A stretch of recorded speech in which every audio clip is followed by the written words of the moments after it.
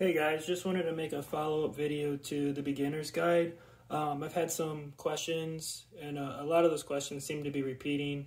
So I figured I'd just make another video, post this, and hopefully help you guys get set up when you first get your MidiVolts.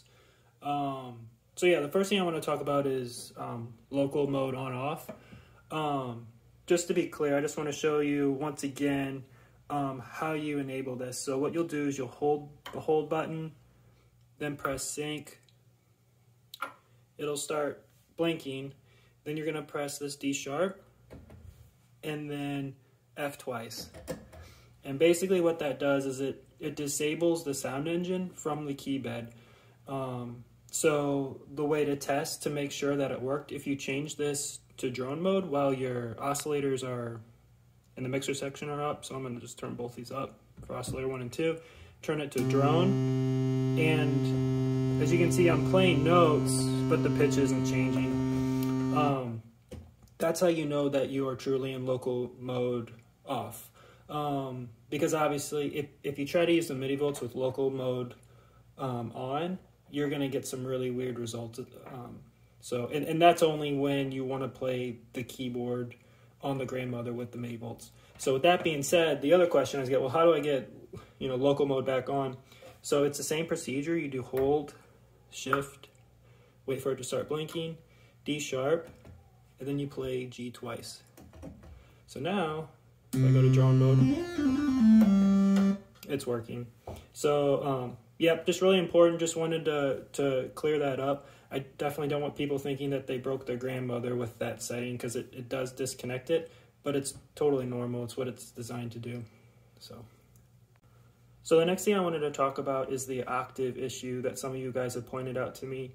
Um, it seems like after turning local mode off and restarting the grandmother, your oscillators are like super, super low and you can't get the higher range that you've seen in, in my videos. I did just upgrade the Moog Grandmother to the newest firmware um, just to try to recreate the problem, and I am able to see um, that issue you guys are, are seeing. So I'm going to show you um, the issue, and then I'll show you how I've um, how I get around it and how to fix it. So um, so yeah, right now we're on local mode on, so let's turn that off. And then um, D sharp, let's do F twice, make sure we're off. No response, we're good and then I, you know, restart, and now it's gonna be super, super low. So if we do this, you can hear it's almost like an LFO signal. Um, so yeah, so how do you fix this? Um, well, the way I have been doing it is I will turn local mode back on, press D sharp, G twice, once again. So now we should be able to, we're back to normal mode. So what you can do is you can actually select your lowest MIDI note that you want the MidiVolts to play. So it's all based on a reference voltage. So basically if you play a note, you turn local mode off, the note that you last selected is going to be the reference for the whole MidiVolts 5 volt range. So what you can do is select what you want your lowest note to be. So let's just say, let's just do this one. So I press this, so without pressing any other keys, let's do hold, sync, D sharp, F twice. So now when we go to drone, that's our new bass reference. So I'm gonna hook up the MidiVolts now. So let's just do, we'll just do duo mode because it's simple and fast. Um,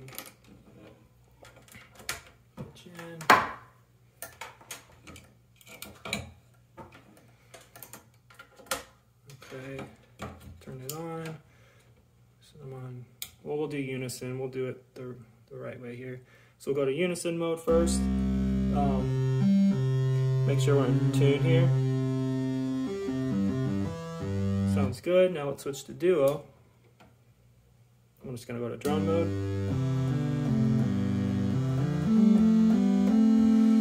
So there we go. Another thing I want to talk about too is don't forget, you always have your left-hand buttons too to adjust your octaves.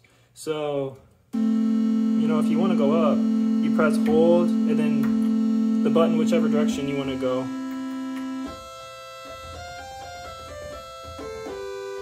If you want to go really low.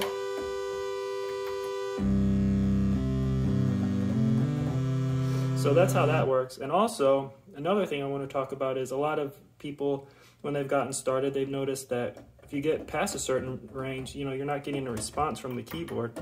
So like this whole range here, there's nothing going on. And the reason why is because the MidiVolts only operates across channel uh, MIDI notes 36 through 95. So these are all lower than 36, so it's not going to accept the range. MidiVolts only does a range of 5 volts. Um, so you just have to adjust up, and then you're in range. So. So the first thing I usually ask people to do when they message me for help or they're having an issue with their MidiVolts when initially getting set up, I normally have them send me a picture of their power adapter because 95% of the time, that's usually the cause of any weirdness that people are experiencing. So once again, just want to reiterate, the power adapter's got to be a 9 volt DC adapter that's center positive. If it's not center positive, the MidiVolts just won't turn on. Um, this yellow LED will just stay basically off. So that's how you'll know if you have the wrong polarity. Now, if you're using a DC adapter that's less than 9 volts, you're going to get some really, really weird results. Weird scaling. It might not even work quite right at all. Um, so definitely, very first thing you want to check, make sure it's a 9 volt adapter, um, and you should be good. Okay, so the next thing I want to talk about is um, is tuning. Um, most people I've noticed they can usually get duo mode to work. Um, that one's pretty straightforward and pretty pretty easy to get going. But poly three mode is a little bit trickier because you need to tune your LFO to audio range. So let's just go over that really quick, um, just to be clear. Um, so once again, I'm going to set the MidiVolts here so you guys can see. And let's just do pitch in on oscillator 1 to V0 pitch, V1 pitch on the MidiVolts to oscillator 2 pitch in, and, oops, and pitch on V2 to rate in. And then lastly, we need to get it to the mixer. So let's do wave out to noise in. Okay, so first things first, I would always start with unison. Um, so let's just start there. And also, let's just do, it, it's more complicated if you're trying to tune all oscillators at the same time. I usually do one at a time. So let's just keep oscillator one and two up. And let's turn drone mode. And another thing I like to do is I like to shift the octaves up a, you know, a couple. Just the higher ranges, it's easier to hear the, the beating. So. Okay, that looks good. So that's usually pretty easy. It's usually in the center. Um, so, so now let's work on the modulation section here and get that one in tune. So what I usually do is turn down oscillator two, so I only have two to compare with. So now let's get this one tuned. And what I want to explain too is, I don't think I was clear, but you can actually hold down the hold button while you're adjusting the rate knob and you can get fine tuned.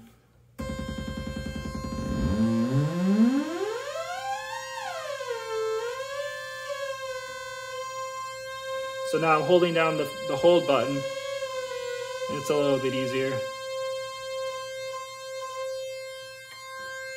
So another thing, I don't have the best ear and a lot of times when I'm tuning, I'll accidentally tune the modulation section like an octave down from what you know this oscillator is set at. And it actually usually sounds pretty cool so it's fun to do that. But when you're expecting you know a, a normal style playing and you're getting these weird inversions unexpectedly it is a little frustrating and confusing so another thing i usually do is just double check to make sure all my oscillators are in the same octave range and when you do that i just turn them all down and we'll just leave this one up so that's this oscillator, so let's turn that one down, do turn this one up. It's the same octave you can hear. When they're together, it's harder to hear if they're the same octave or not, but this is the way I do it. Um, and let's do this last one here. So that's, they're all for sure in the same range, and that's just by hearing it. But when they're mixed, sometimes it's hard to tell. So now let's just do poly 3 mode really quick. So switch to poly 3. Don't forget to switch this to B. Let's just do drone mode.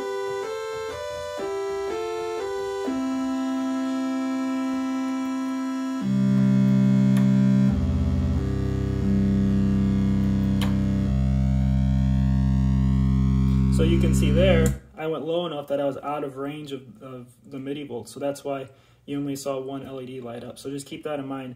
This is really important when using the MidiVolts is changing your, your MIDI range.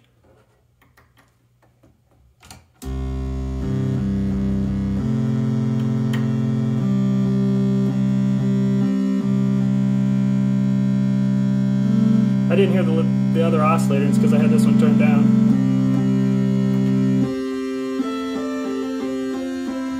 That's the other thing. It's like when you're troubleshooting this stuff, it's so easy to overlook something like that. And you're like, why can I only hear one voice? And it's something simple like you forgot to turn up your mixer. So, um, so yeah, I, I appreciate your guys' patience with this stuff. I know it's confusing at first, but I feel like, you know, everyone's been really happy with the MidiVolt so far. So I'm I'm really happy to hear that. Um, obviously, still though, if you guys have any questions with this unit, feel free to reach out.